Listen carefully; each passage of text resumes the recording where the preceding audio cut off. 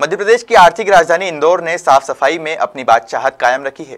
गुरुवार को जारी हुए स्वच्छता सर्वेक्षण के परिणाम में चौथी बार देश सबसे स्वच्छ शहर का गौरव हासिल किया है।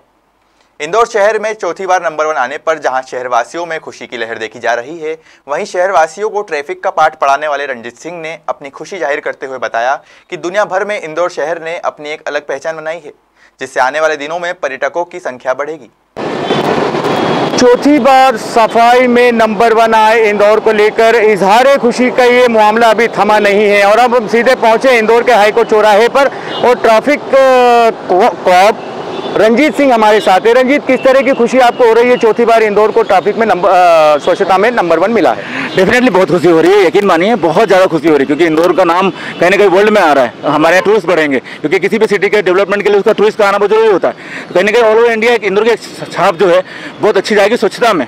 पर जैसे आपने बोला कि ट्रैफ़िक में नंबर आना चाहिए तो मैं ट्रैफ़िक को बिलोंग करता हूँ तो मैं चाहूँगा कि इंदौर की जनता इस तरह सफ़ाई में नंबर वन आई है। ट्रैफ़िक में भी सहयोग करें क्योंकि अगर अगर ऐसा होगा तो डेफिनेटली अच्छा होगा।